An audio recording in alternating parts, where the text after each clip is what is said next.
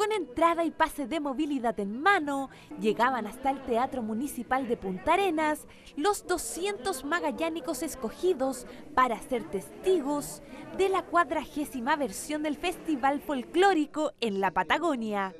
¿Preparado para vivir una nueva jornada de Festival de la Patagonia? De todas maneras, aquí estamos preparados. Vine temprano para ubicarme más o menos bien y entonces ahora esperar nomás que empiece el, el espectáculo. Contenta de asistir porque esto era necesario para nosotros todos los años nuestro festival, que es lo que tenemos, es lo más hermoso. Feliz, me siento feliz por el hecho de participar en el festival. Y qué bueno que, que estemos en, en esta fase para que se recuperen cosas que se habían perdido. Llegó el momento del anhelado reencuentro entre el público y los artistas regionales, tras dos años de interrupción del festival, producto de la pandemia. Emocionante, gratificante después de dos años de, de pandemia prácticamente, donde eh, se extrañaba el público, se extrañaban los aplausos. No, felices de haber tenido esta oportunidad, la apertura, la apertura.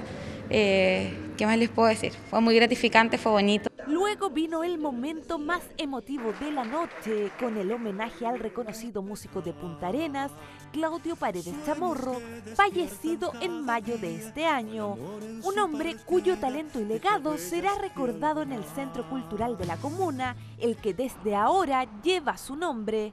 La verdad que estoy muy feliz porque no lo esperaba, no, te juro que no, no esperaba algo tan bonito como lo han Claudio. Yo nunca me hubiera imaginado que el Centro Cultural llegue a su nombre. El legado de Claudio está hace muchos años en la región, está instalado. Eh, pero ahora facilitará más para los niños y los jóvenes para ocupar el centro cultural que lleva el nombre.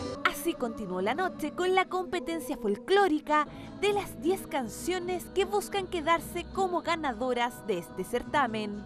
Se siente acá un arraigo muy, muy natural, como que no hay nada forzado. Por lo menos esa es la impresión que me dio a mí en esta primera pasada de estas 10 canciones, así que por lo menos yo la tengo clarita, pero sé que va a ser difícil pelearla, seguro que cada uno tendrá la suya. Raíces patagónicas que fueron desde lo musical hasta el humor, donde el comediante regional Centella logró sacar más de una carcajada.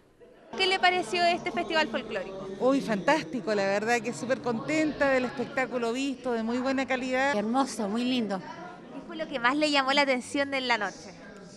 Mario Grandi, Centella.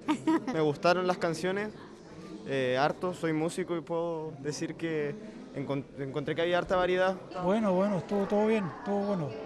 Hoy se vivirá la segunda jornada de este festival en la Patagonia. Será el turno de Magdalena Matei, Teresa Aravena y los del Alero, Rolo Contreras, Arrebol y Amalgama para desplegar su talento, el que será transmitido a través de la red de canales regionales Arcatel a las 19.30 horas.